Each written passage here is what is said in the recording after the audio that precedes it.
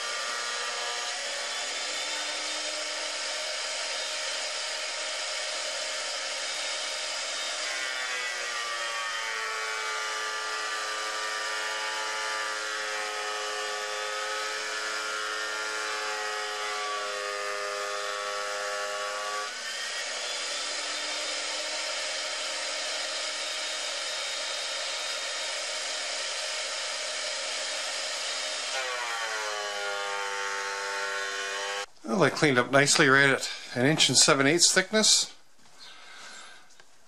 So that's what we're going to use. I've got them stickered up and we'll let them rest for a while. Well, seeing as I no longer have to worry about the width of my jointer, I think I'm going to go with a 5 inch wide board for that. And I'm just going to trim down one side and flip it and trim down the other side and flip it. Just work it into this 5 inch and that way my table saw is making progressively straighter cuts. And I suppose it works better when it's plugged in. Otherwise it's a pile of work.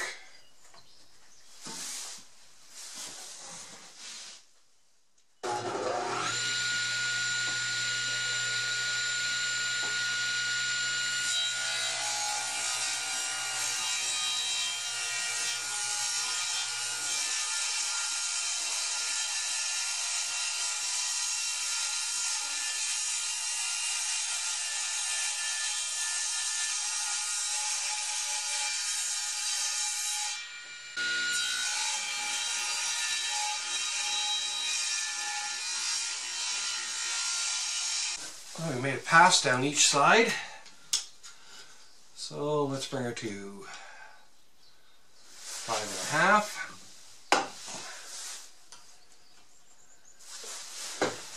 Get closer than that. Bring it down to five and a quarter or so.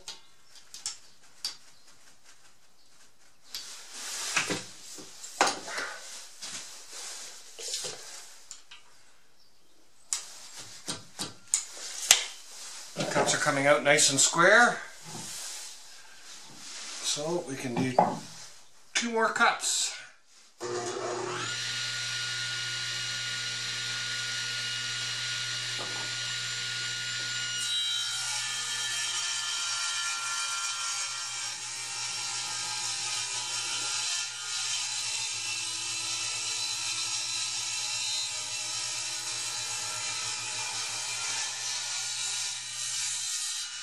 My last cut will be just a little bit stronger than 5 inches. Give me enough to hand plane off and get the burn marks out. Leaving a little bit of burn. Underpowered saw going through thick maple.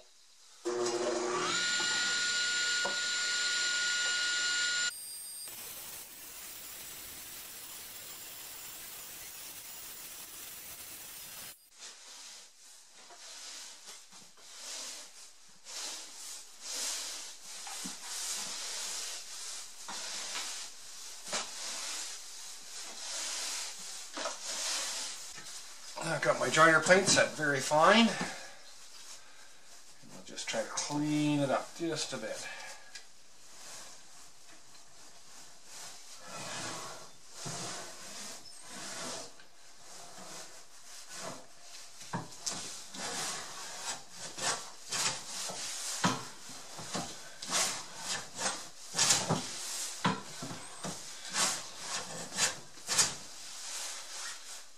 Trying to take off a little bit too much there.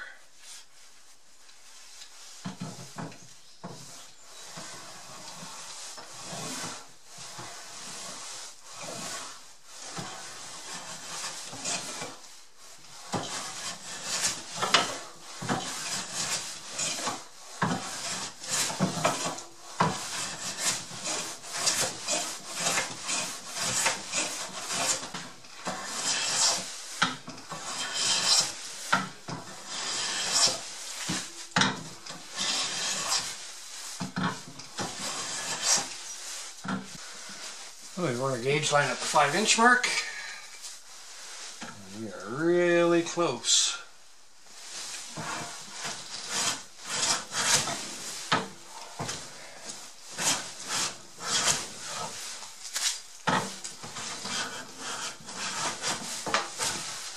Of course it's exponentially harder on the longboards. But when you put a gauge line in and you see that, you know you've made it to your gauge line.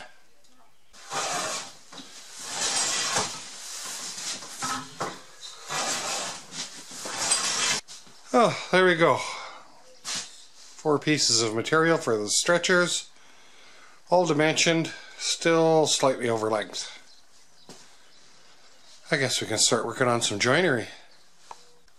Cut a piece of scrap, clamped it in there, so my legs are sitting nice and square to the table. That just to make sure everything will fit properly. And I've cut my shirt stretchers to length. So they're coming halfway in. There's a seam right there and the seam right there. And I've got it pretty much oriented the way I want. So the depth of my tenon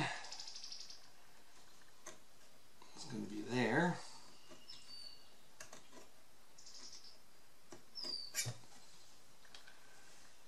And here.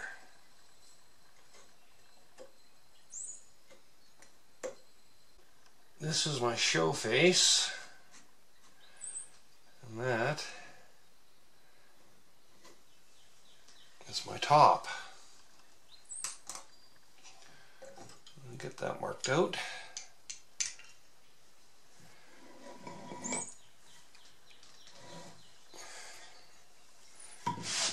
And the marks we made, we can transfer them around for the depth of the tenons.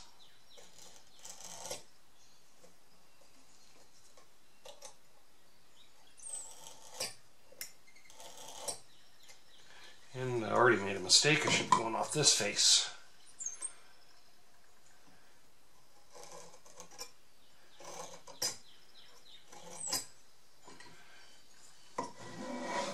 Faces that I've marked, I always want them, keep in mind that they're the reference faces.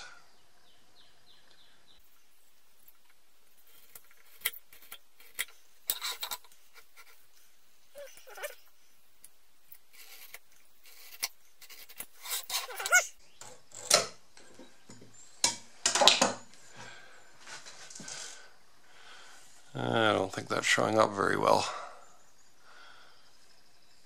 There, you can see it. Come right around and mat. I got a new toy for my birthday.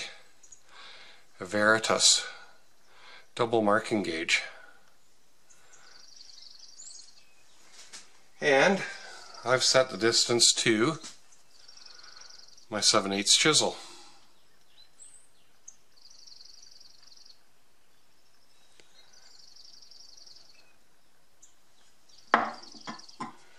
So if I come off my show face here again, my marked face for reference, I've put it that way and put it that way so they line up nicely. Now I can mark out my tenons.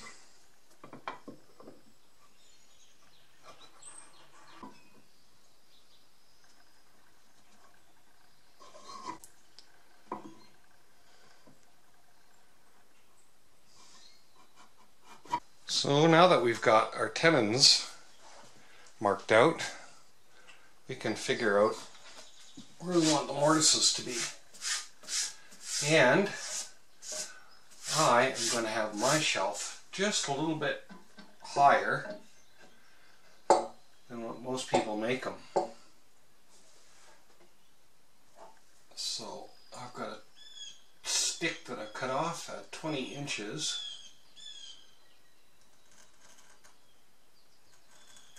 and that will give me my baseline. For my mortise. I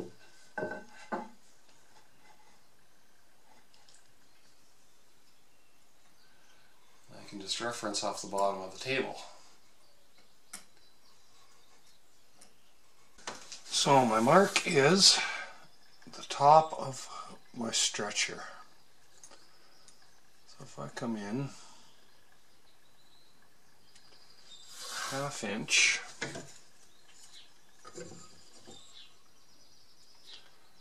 That is the top of my tenon.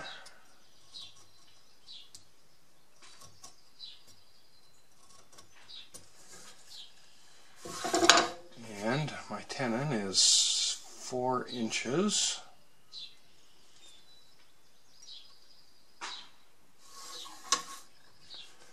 so that's the bottom of my tenon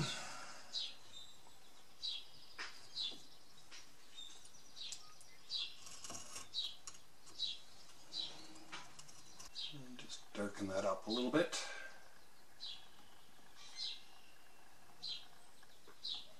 My marking gauge is still set the same.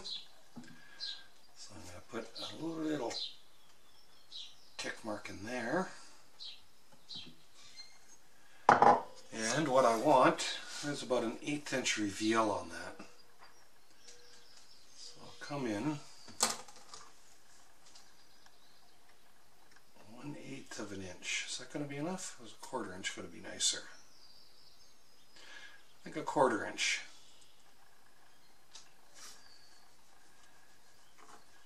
So right to there.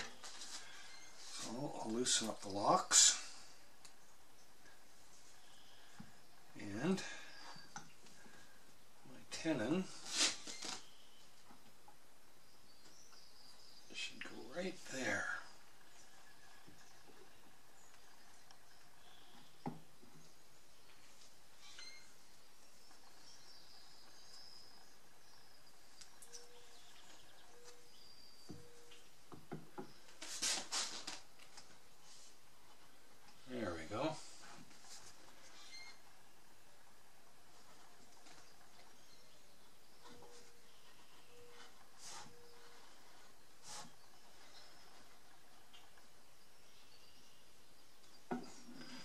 Side of my mortise.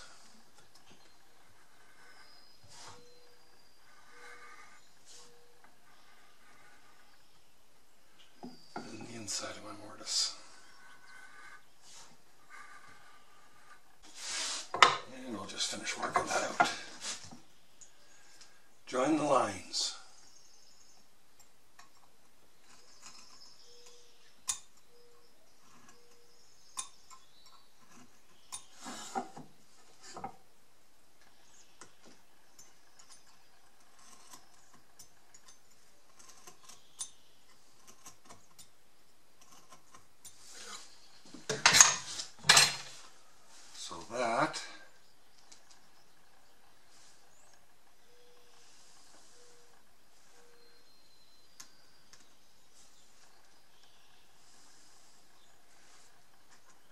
marks out my mortise. Four mortises marked out, four tenons marked out. Nothing left to do but to go for it.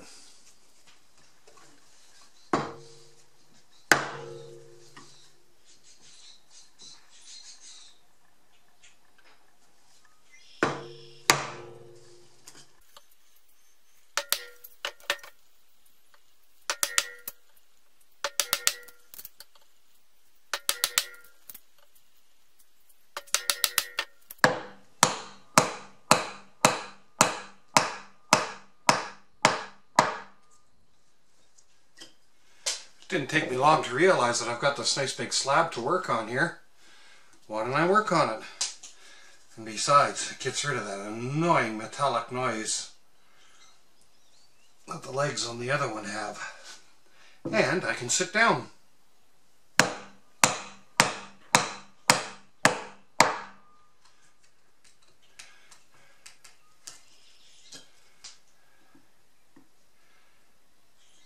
This maple sure is hard stuff, but it's working pretty clean.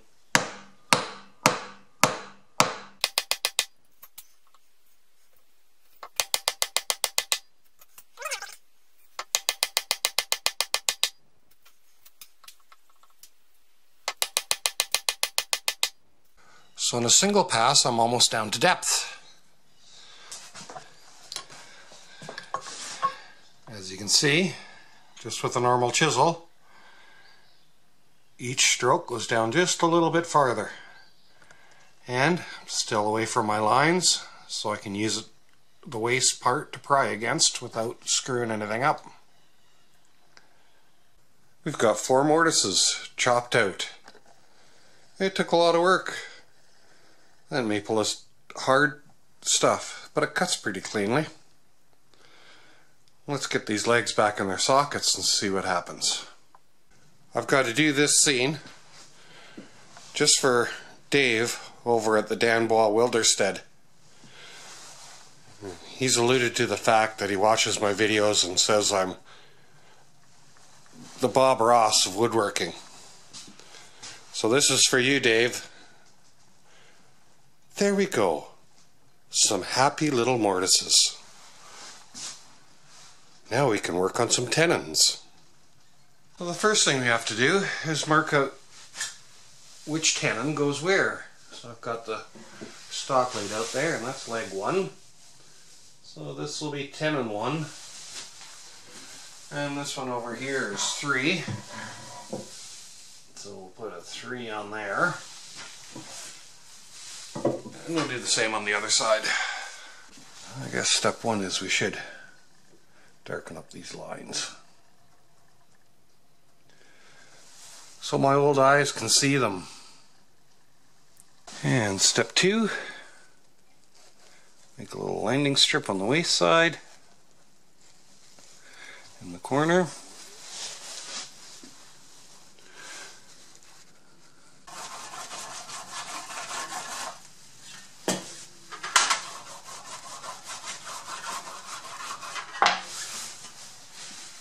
And the tenon saw.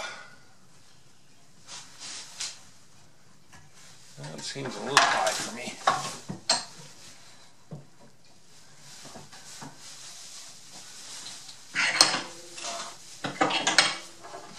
Get it down for my More comfortable.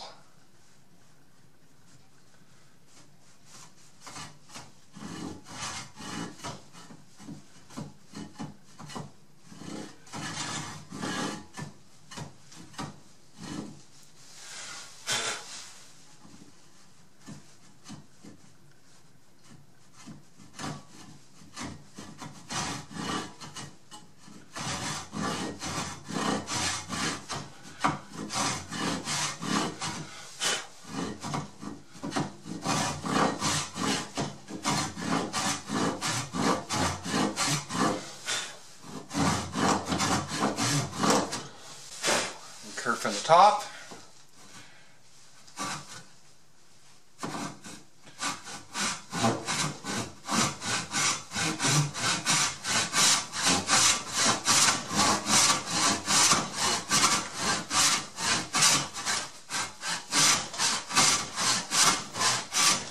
Start dropping our heel down.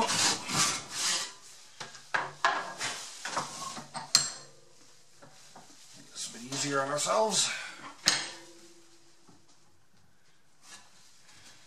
And now we just follow in one line again, down the bottom.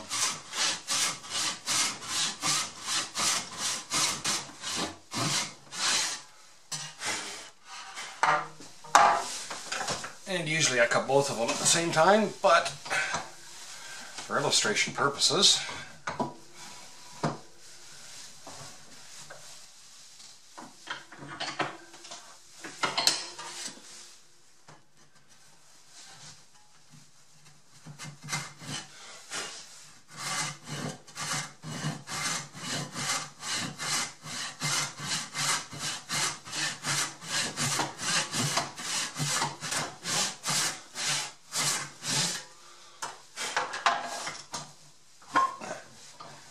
we got all the lines well curved.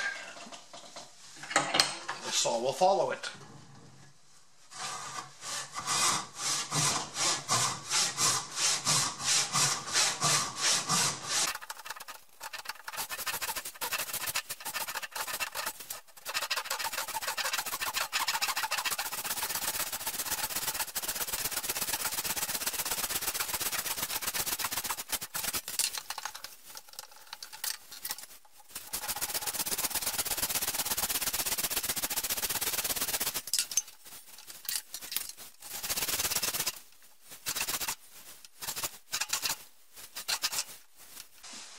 Just reinforce our kerf line on the waste side again.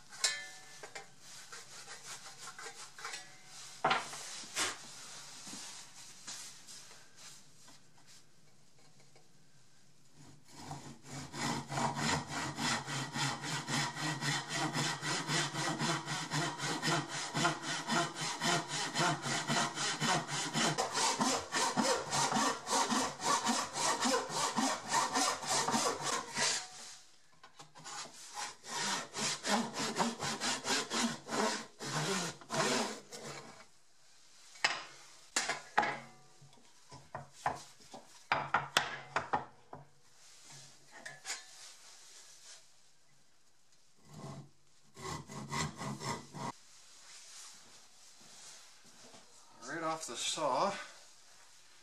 It should be, oh, oh look at that.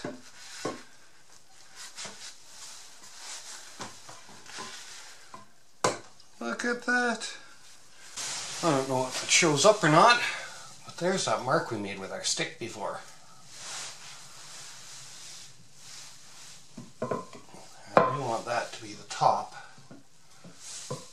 of the stretcher.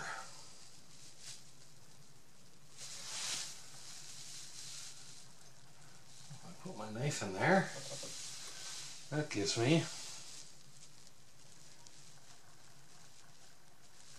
from there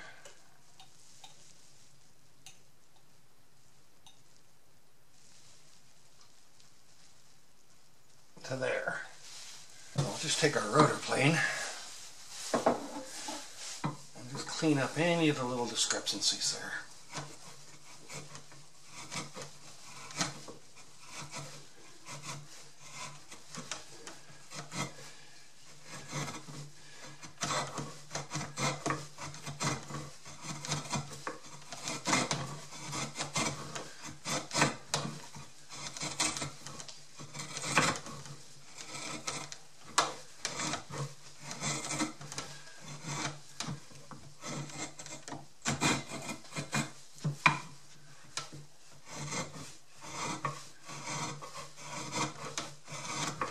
we have our face all nice and parallel to that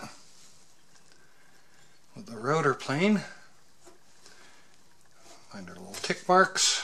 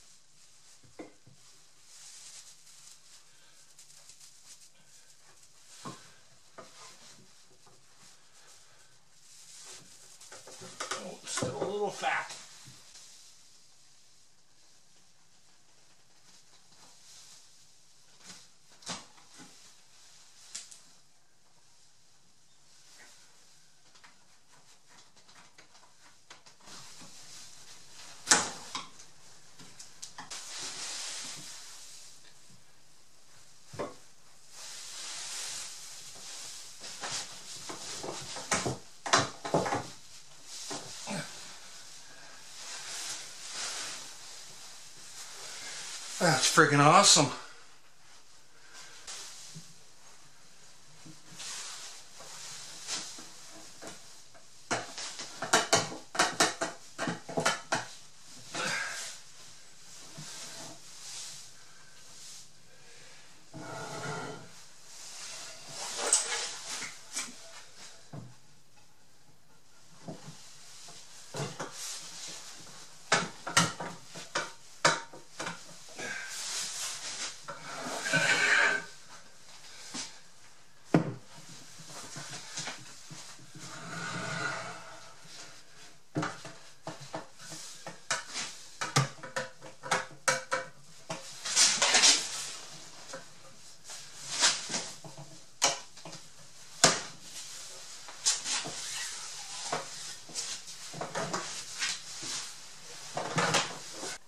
Well, the other set was a little bit more difficult,